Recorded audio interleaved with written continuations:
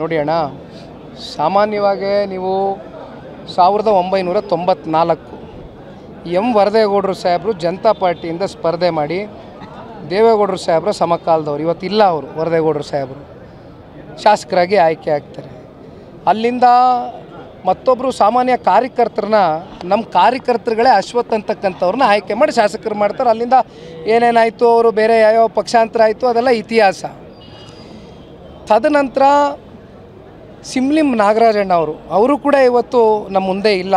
ಒಂದು ಮೂರು ನಾಲ್ಕು ವರ್ಷ ಆಯಿತು ನಮ್ಮನ್ನು ಆಗಲಿ ಹೋಗಿ ಅವರು ಹಿಂದೆ ವರದೇ ಹೊಡ್ರು ಇದ್ರು ಅವ್ರು ವರದೆಗೌಡ್ರದ್ದು ಹೇಳಿದ್ನಲ್ಲ ತೊಂಬತ್ನಾಲ್ಕರಲ್ಲಿ. ಐವತ್ತೈದು ಸಾವಿರ ಮತಗಳು. ಒಬ್ಬ ಸಾಮಾನ್ಯರಲ್ಲಿ ಸಾಮಾನ್ಯ ಕಾರ್ಯಕರ್ತರಿಗೆ ಕ್ಷೇತ್ರದ ಜನತೆ ಆಶೀರ್ವಾದ ಮಾಡ್ತಾರೆ. ಯಾರು? ಸಿಮ್ಲಿಂ ನಾಗರಾಜಣ್ಣ ಅವ್ರಿಗೆ. ತದನಂತರ ಎರಡು ಸಾವಿರದ ಹದಿಮೂರರಲ್ಲಿ ಅನಿತಾ ಕುಮಾರಸ್ವಾಮಿ ಅವರು ನಿಂತಾಗಲೂ ಎಪ್ಪತ್ತ್ಮೂರು ಸಾವಿರ ಮತಗಳ ಮೂಲಕ ಜನ ಆಶೀರ್ವಾದ ಮಾಡ್ತಾರೆ ಮೂರು ಸಾವಿರದಿಂದ ಪರಾಜಿತಗೊಳ್ತಾರೆ ಬಹುಶಃ ಈ ಇತಿಹಾಸವನ್ನು ಎಲ್ಲ ಕಲೆ ಹಾಕಿದಂಥ ಸಂದರ್ಭದಲ್ಲಿ ಇವತ್ತು ಚನ್ನಪಟ್ಟಣ ತಾಲೂಕಿನಲ್ಲಿ ಜೆ ಡಿ ಎಸ್ದಾದಂಥ ಸಾಂಪ್ರದಾಯಿಕ ಮತಗಳಿದೆ.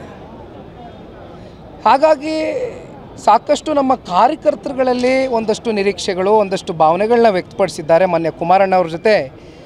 ನಿನ್ನೆ ನಮ್ಮ ಜೆ ಪಿ ನಗರದ ನಿವಾಸದಲ್ಲಿ ಕೂತಂಥ ಸಂದರ್ಭದಲ್ಲಿ ಎಲ್ಲ ಪ್ರಮುಖ ಮುಖಂಡರುಗಳು, ಕಾರ್ಯಕರ್ತರುಗಳು ಅವ್ರ ಭಾವನೆಗಳು ವ್ಯಕ್ತಪಡಿಸಿದ್ದಾರೆ. ಜೊತೆಯಲ್ಲಿ ಕ್ಷೇತ್ರದ ಜನತೆಯ ಭಾವನೆಗಳೇನಿದೆ ಅಂತಕ್ಕಂಥದ್ದನ್ನು ನಾವು ಕ್ರೋಢೀಕರಿಸಬೇಕಾಗ್ತದೆ. ಅಂತಿಮವಾಗಿ ರಾಜ್ಯ ಬಿ ಜೆ ಪಿ ಇರ್ಬೋದು, ರಾಜ್ಯ ಜೆ ಡಿ ಎಸ್ ಇರ್ಬೋದು, ಜೊತೆಯಲ್ಲಿ ರಾಷ್ಟ್ರೀಯ ನಾಯಕರುಗಳು. ಯಾವ ರೀತಿ ಲೋಕಸಭಾ ಚುನಾವಣೆಯಲ್ಲಿ ನಾವು ಇವತ್ತು ಒಂದು ಹೊಂದಾಣಿಕೆಯನ್ನು ಮಾಡ್ಕೊಂಡು ಹೊರಟಿದ್ದೇವೆ ಒಂದು ಒಳ್ಳೆಯ ಉದ್ದೇಶಕ್ಕೆ, ಆ ಒಂದು ಒಳ್ಳೆಯ ಉದ್ದೇಶಕ್ಕೆ ರಾಜ್ಯದ ಜನತೆ ಕೂಡ ನಮ್ಗೆ ಆಶೀರ್ವಾದ ಮಾಡಿದ್ದಾರೆ ಲೋಕಸಭಾ ಚುನಾವಣೆಯ ಫಲಿತಾಂಶದ ಮೂಲಕ. ಹಾಗಾಗಿ ಯಾವುದೇ ಗೊಂದಲಕ್ಕೆ ಎಡೆ ಮಾಡ್ಕೊಳ್ತಕ್ಕಂಥದ್ದು ಇವತ್ತು ಪ್ರಶ್ನೆನೇ ಇಲ್ಲ. ಸರ್ ಇದ್ರ ಮಧ್ಯೆ ಸರ್ ಯೋಗೇಶ್ವರ್ ನಾನೇ ಅಭ್ಯರ್ಥಿ ಆಗ್ತಾ ಇದ್ದೀನಿ. ಯಾಕಂದ್ರೆ ಹೇಳಿದ್ದಾರೆ ಅಂತ. ಹೇಳೋದು ಕಾರ್ಯಕರ್ತರಲ್ಲಿ ಗೊಂದಲ ಯೋಗೀಶ್ವರ್ ಅವರು ಕೂಡ ನಾನು ಒಬ್ಬ ಆಕಾಂಕ್ಷಿ ಅಂತಕ್ಕಂಥದ್ದನ್ನ ಹೇಳಿಕೆ ಕೊಟ್ಟಿರ್ತಕ್ಕಂಥದ್ದು ನಾನು ಗಮನಿಸಿದ್ದೀನಿ. ಅದ್ರ ತಪ್ಪೇನಿಲ್ಲ. ನಾನು ಒಬ್ಬ ಸರ್. ಈಗ ಒಂದು ಒಂದು ಒಂದು ನಿಮಿಷ ಒಂದು ನಿಮಿಷ ಹೇಳ್ತೀನಿ ಕೇಳಿ. ಇವತ್ತು ನಾವು ಎನ್ ಡಿ ಎ ಮೈತ್ರಿ ಪಕ್ಷದ ಭಾಗವಾಗಿದ್ದೀವಿ. ಈಗ ಕುಮಾರಣ್ಣ ಅವರಾಗಲಿ ಅಥವಾ ನಾವುಗಳಾಗಲಿ ಕುತ್ಕೊಬಿಟ್ಟು ನಾನು ಅಭ್ಯರ್ಥಿ ಅಂತ ಘೋಷಣೆ ಮಾಡಲಿಕ್ಕೆ ಆಗೋದಿಲ್ಲ.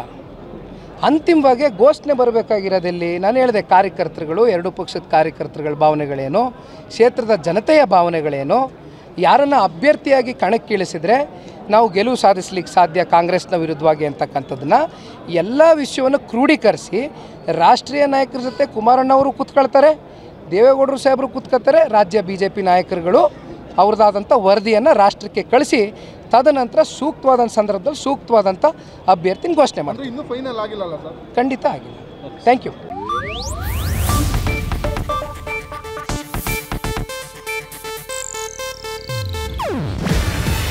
ಇದು ಏಷ್ಯಾನೆಟ್ ನ್ಯೂಸ್ ನೆಟ್ವರ್ಕ್ ಪ್ರಸ್ತುತಿ. ನೀವು ನೋಡ್ತಿದ್ದೀರಾ ಏಷ್ಯಾ ನೆಟ್ ಸುವರ್ಣ ನ್ಯೂಸ್.